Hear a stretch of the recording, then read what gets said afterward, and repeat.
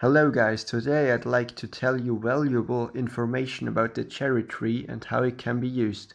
The cherry tree is a medium-sized tree up to a height of 25 meters. The leaves of the cherry tree are elliptical to ovate.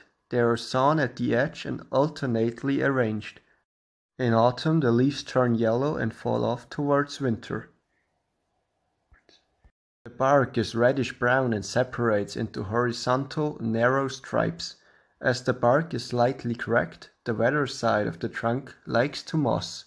The bark can be used to reach very high temperatures with a fire. The bark is often used as tinder too.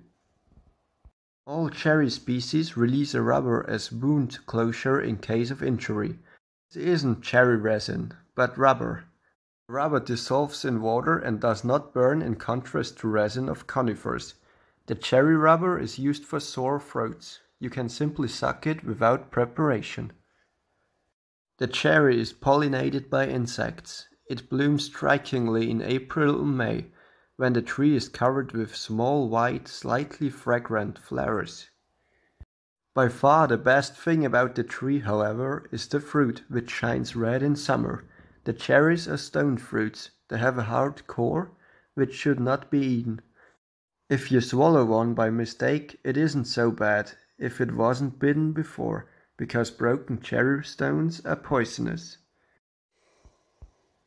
The taste of the cherries is very sweet and delicious. The riper the cherries, the sweeter. The flesh of the cherries also become redder as they ripen. The cherries are usually eaten raw cooked into jams or used for cakes.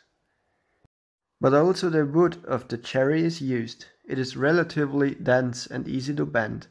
Due to this property, it is easy to work with. However, cherry wood is not weather resistant, so it is not used outdoors. In the interior, however, cherry wood furniture is often found, as it has a beautiful intense grain and a reddish brown color in addition to the structure suitable for processing.